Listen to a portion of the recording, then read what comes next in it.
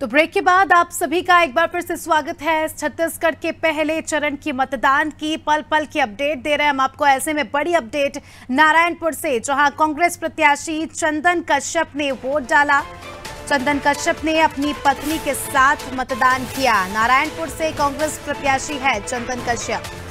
मतदान किया, साथ ही जनता से मतदान करने की अपील भी की। सहपरिवार मतदान केंद्र पहुँचे और मतदान किया, उसके बाद मीडिया से भी चर्चा की और कहा कि वोट ज़रूर दे, सारे काम छोड़ दे, लेकिन वोट आवश्यक दे।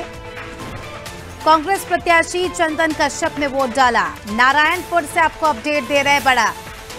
चुनावी रण में आज जो है आमने सामने बीजेपी, कांग्रेस और उसके अलावा भी कई दल है। और आज जो है उनकी किस्मत ईवीएम में कैद कर रही है जनता ऐसे में। लगातार जो है नादी टीवी आपको पल पल की अपडेट दे रहा है।